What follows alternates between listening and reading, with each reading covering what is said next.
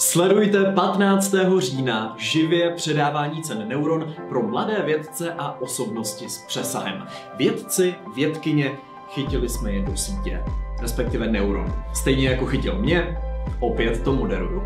Budu se na vás těšit.